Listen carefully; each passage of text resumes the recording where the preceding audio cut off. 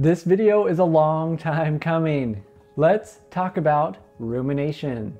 Do you know what rumination is? I would say most, if not all, individuals who struggle with OCD ruminate, even those who don't struggle with OCD. The official definition of rumination is the action of chewing the cud. Wait, wait, wait, wait. That is not it.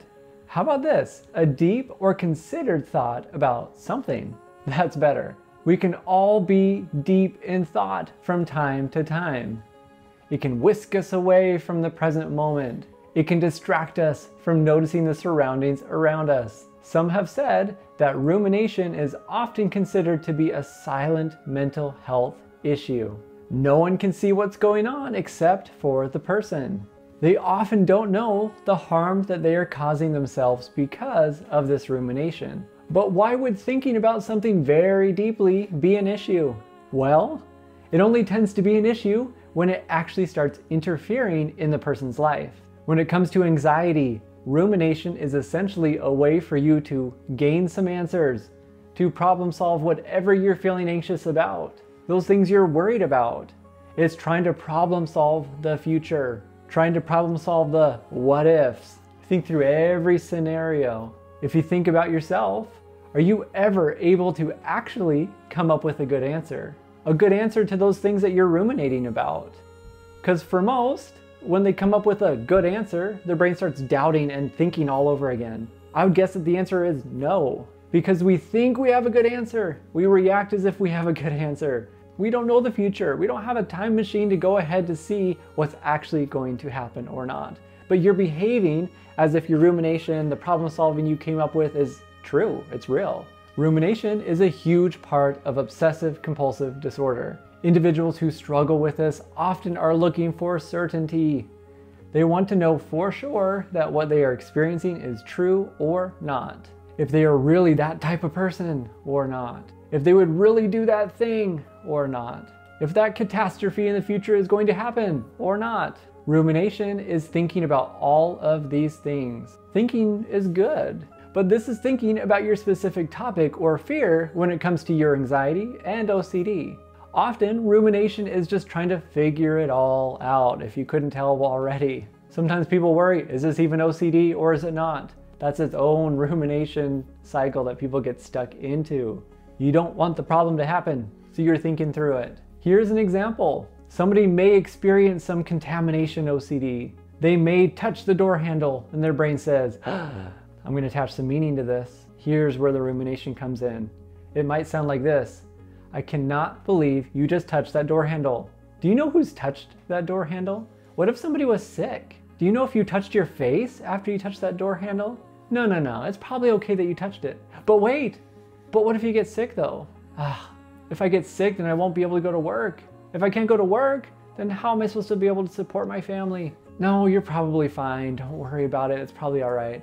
But you know, just in case, go wash your hands because you don't want to get sick. You don't want that catastrophe happening. So the person gives into the behavior. They wash their hands because that rumination sent them down that path.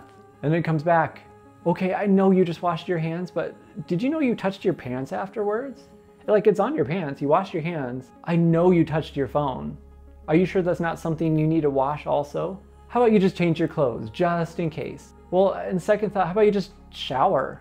Change your clothes, shower, then you will be sure. But I know, like, you didn't clean off that door handle. You know, you know one of your children just touched it.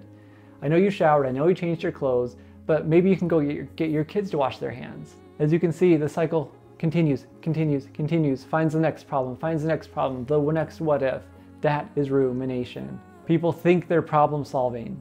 They're doing a lot of just in case behaviors. They're trying to think through and prevent whatever the fear is from happening. Often, I see rumination as very automatic. They are natural thoughts that just come right in. They throw out these threats as quick as they can. And what matters is how you're going to react to it. If you go down the road and problem solve this, you are going to get stuck and you are doing a compulsion. The compulsions are those things that keep you trapped. All your brain knows is that it saved you. It helped you problem solve a potential problem and you fixed it. But what if there was never a problem to begin with? What if your brain completely lied to you? You cannot think your way through a fear. I say, don't engage with rumination. Do not give it any power whatsoever. This is a very tough task. And some people just say, stop. But how do you stop? Here are some tips that, you can use. Make sure you are giving your brain the same answer every single time it threatens you. Every single time it's trying to problem solve. It says you hit someone with your car and it wants you to think through the whole situation, go back, make sure and check. And you're saying, yeah, maybe I did, maybe I didn't. That is how I'm taking power away. That's actually how I'm not engaging with the conversation in my head. And when it gets really annoying, you're like, totally, man, totally hit someone with my car. That is amazing. You can agree with it. I can only imagine the OCD screaming at you when you give it an answer like that, that you just agreed with it. Are you sure you actually love your partner? You know, maybe I do, maybe I don't. Are you attracted to somebody of your same gender? Yeah, maybe I am, maybe I'm not. Your family will be ruined. Yeah, maybe it will, maybe it won't. Will I harm my child? Maybe I will, maybe I won't. There is not a topic or a theme that you cannot use this phrase with. Everybody thinks they're special. They think that their specific topic or fear doesn't apply to this situation, that you cannot say maybe, maybe not to this. It is simply untrue. To help you not ruminate, it's committing to use this phrase every single time and not engage with it. Giving it the same answer every time shows your brain that like, hey, I can keep throwing these out your way, but you're just not giving into it. So maybe I need to slow it down. Even if you feel like this one's different, give it the same answer. Some choose to have different catchphrases like, that's not my thing. Sure, man, totally. Thanks for your opinion today. That's amazing. These statements need to be followed up with not engaging in the compulsions because you can't say, I may or may not get sick, but I'm going to go wash my hands just in case. That doesn't work. I may or may not hurt my child, but I'm going to make sure I hide all the knives just in case. That doesn't work. People who are committed are using the maybe, maybe not statements and they are trying as hard as they can to not do these compulsions. Because you can't say maybe, maybe not, and then do the compulsion because that gets you back in that rumination because you're problem solving, you're thinking through it, you're avoiding the problem that you think is a problem. Your brain needs to learn that when you're not doing the compulsion, you're not engaging in the rumination, that that catastrophe that came up in your head didn't happen. And when it doesn't happen, it says, huh, maybe I lied to you. Maybe I need to slow this down. You're not asking for reassurance? That is the whole point. Stay uncertain. Do not figure it out we stop the rumination by stopping it in its tracks, not giving it a satisfied answer. One of the first parts is recognizing that you're even ruminating. Did you know you're ruminating? You might think about what is the reason I'm thinking through this right now?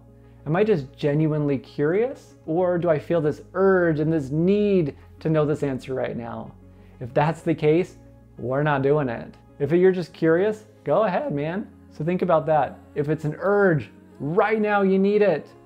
Don't engage. It's actually your choice. You get to choose.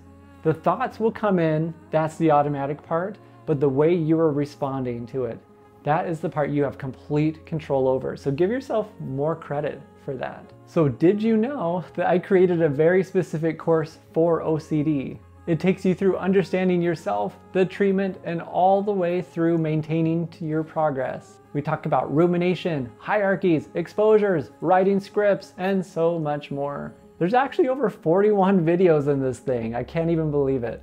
I'll link it down in the description below. It's different than these videos because it is structured.